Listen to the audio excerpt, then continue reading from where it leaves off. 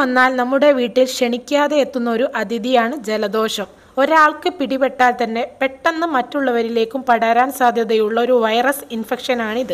നമ്മുടെ ഈ ജലദോഷത്തിന് ഇരുന്നൂറിൽ തരം വൈറസുകൾ കാരണമാകുന്നുണ്ടെങ്കിലും റൈനോ വൈറസുകളാണ് ഇതിലെ പ്രധാനികൾ. വായുവിലെ സൂക്ഷ്മ കണികകളിലൂടെയാണ് ഇത് പടരുന്നത്. നല്ല തണുപ്പുള്ള കാലാവസ്ഥയും അതേപോലെ അന്തരീക്ഷത്തിലുള്ള ആർദ്രതയിലുള്ള വ്യതിയാനവും നമ്മുടെ വൈറസുകൾക്ക് അനുകൂലമായതുകൊണ്ട് മഴക്കാലം ജലദോഷം വരാൻ വളരെ സാധ്യതയുള്ള ഒരു കാലമാണ്.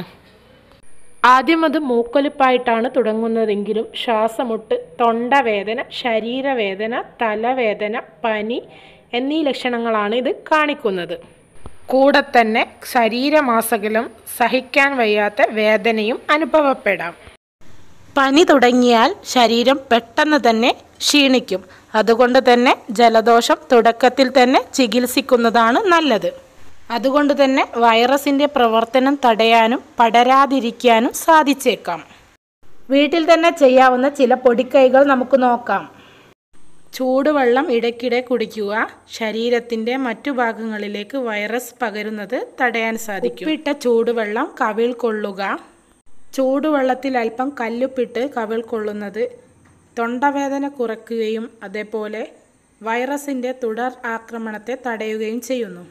ദിവസത്തിൽ മൂന്ന് തവണയെങ്കിലും ചൂടുവെള്ളം കവിൾ കൊള്ളുക. ആവി പിടിക്കുക. ജലദോഷം വരാൻ സാധ്യതയുണ്ട് എന്ന് തോന്നിയാൽ അപ്പോൾ തന്നെ ആവി പിടിക്കുക. ഇത് അടഞ്ഞ മൂക്ക് തുറക്കാനും അതേപോലെ രോഗാണുക്കൾ നശിക്കാനും സഹായിക്കുന്നു. ജലദോഷം വന്നതിന് ശേഷമാണ് ആവി പിടിക്കുന്നതെങ്കിൽ അല്പം തുളസിലയോ രാസനാദി ചൂർണമോ പുൽത്തൈലമോ ഒരു തുള്ളി യൂക്കാലിസോ ഏതെങ്കിലും ഒന്ന് തിളപ്പിച്ച വെള്ളത്തിൽ ചേർത്ത് ആവി പിടിക്കാവുന്നതാണ്. ആവി പിടിക്കുമ്പോൾ ചൂട് കൂടുതലാവാതിരിക്കാൻ ശ്രദ്ധിക്കുക. മൂക്കിലുള്ള കോശങ്ങൾ നശിക്കാൻ അത് കാരണമാവുന്നതാണ്. കണ്ണുകൾ അടച്ചു വെക്കുകയോ സാധിക്കുമെങ്കിൽ കെട്ടിവെക്കുകയോ ചെയ്യുക. ചുക്ക് കാപ്പിയോ പുതിന ചായയോ കുടിക്കുക? ജലദോഷമുള്ളപ്പോൾ ചൂടുള്ള ചുക്ക് കാപ്പി കുടിക്കുന്നത് ആശ്വാസം നൽകും. അതുപോലെ തുളസി ഇലയും പുതിന ഇലയും ഇട്ട ചായ കുടിക്കുന്നത് തൊണ്ടവേദനയും മൂക്കൊലിപ്പും തടയാൻ സഹായകമാകുന്നു. ഇനി ചില ഒറ്റമൂലികൾ നോക്കാം. ജലദോഷം തുമ്മൽ എന്നിവ അകറ്റാൻ ഏറ്റവും നല്ലതാണ് തേൻ.